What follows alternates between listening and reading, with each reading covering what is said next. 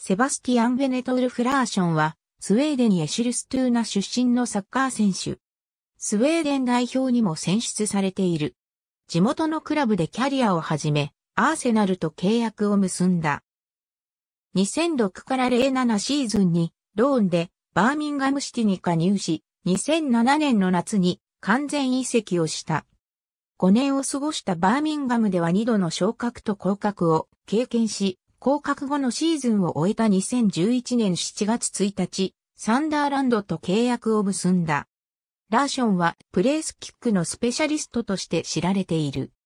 ラーションはエシルストゥーナで生まれ、地元のクラブであるエシルストゥーナシティでサッカー選手としてのキャリアをスタートし、イフックエシルストゥーナでもプレーをした。ラーションのプレーを見たアーセナルのスカウトの誘いにより、16歳の時にアーセナルに加入した。パナシナイコス戦でベンチ入りを果たし、2004年10月27日に行われたリーグカップのマンチェスターシティ戦でトップチームデビューを果たした。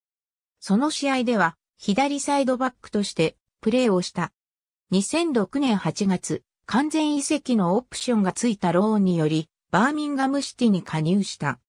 ラーションはシーズン初めのクリスタルパレス戦、シュルーズベリータウン戦で決勝ゴールを挙げるなど、すぐにインパクトを残した。FA カップのニューカッスルユナイテッド戦では2ゴールを決め、2007年1月末、100万ポンドの移籍金により完全移籍することが決まり、バーミンガムと4年間の契約を結んだ。2007年4月のシェフィールドウェンズデー戦では、ハーフウェイラインからドリブルで持ち込み、クラブのゴールオブザシーズンとなるゴールを決めた。2006から07シーズンは主に右ウイングで出場していたが、チーム事情により、サイドバックで出場することもあった。しかしながら、2007から08シーズンのマンオブザ、マッチに選出された、ボルトンワンダラーズ戦の活躍などにより、中盤の右サイドが最適なポジションであると認識されるに至った。コーナーキックを蹴るラーション新たに監督に就任したアレックス・マクリーシュにより、スターティングメンバーに復帰した2007年12月のトッテナムホットスパー戦ではゴールを決め、クラブにプレミアリーグでのシーズンアウェイ初勝利をもたらした。ラーションが決めたリーグ戦の6ゴールの半分は直接、フリーキックによるものであり、そのうちの2ゴールは、トッテナムホットスパー戦、ポーツマス戦と2試合連続で決めたゴールである。リバプール戦では27メートルの距離から、フリーキックからゴールを挙げた。シーズンの4週を残して、クラブを降格から救うことはできなかったが、オプタスポーツの統計は、ラーションをプレミアリーグで最も正確な直接フリーキックを蹴る選手であると評価をした。2010から11シーズンの開幕戦であるスタジアムオブライトで行われたサンダランド戦ではバーミンガムの2ゴールをアシストし、アウェーで勝ち点を得ることに貢献し、ホーム開幕戦となったブラックバンドオーバーズ戦ではクレイグ・ガードナーのゴールをアシストし、2から1の勝利に貢献した。2007年11月に行われたアウェーのフラム戦で、アレクサンドル・フレブのアシストからシーズン初ゴールを記録した。バーミンガムはそのシーズンリーグカップの決勝に進出し、準々決勝のライバルクラブであるアストンビラ戦ではチームの1点目を PK から記録した。シーズン末で契約が切れることになっていたため、1月の移籍市場では入荷するユナイテッドと交渉を行ったが、条件面で合意に達しなかった。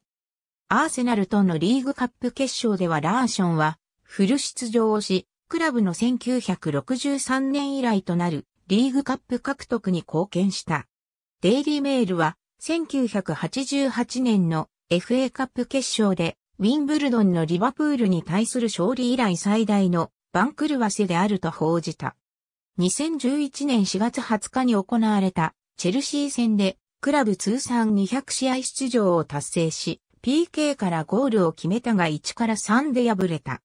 アーセナル戦でフリーキックを蹴るラーション・バーミンガムの降格を受け、2011年6月22日、ボスマンルールにより7月1日より自由移籍で加入することが発表された。サンダーランドの監督は、バーミンガムで監督を務めていたスティーブ・ブルースであった。シーズン2戦目となったアンフィールドでのリバプール戦でデビューを飾り、ボレーシュートでゴールも決めた。ストークシティ戦、その1ヶ月後に行われたアーセナル戦でフリーキックからゴールを決め、試合後にアーセナルの監督を務めるアーセン・ベンゲルはおそらくリーグで一番のフリーキッカーだろう。と述べた。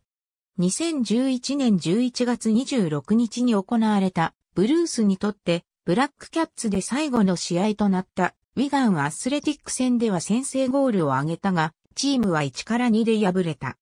マーティン・オニール新監督の初陣となったブラックバーンローバーズ戦では終了間際にフリーキックからゴールを決め、2から1の勝利に貢献した。2017年8月、ハルシティ AFC へ完全移籍。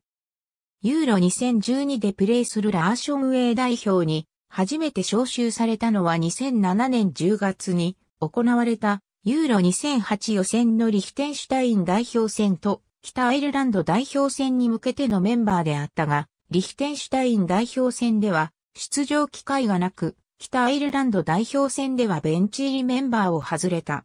代表デビューとなったのは2008年2月に行われたトルコ代表との親善試合であり、フル出場を果たした。ユーロ2008のメンバーにも選出され、以来代表チームのレギュラーに定着した。ユーロ2012予選のモルドバ代表戦で初ゴール記録し、ユーロ2012予選では通算3ゴールを挙げた。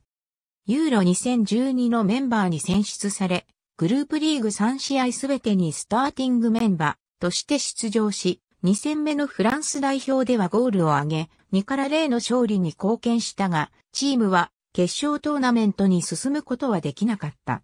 国際 A マッチ96試合6得点。ありがとうございます。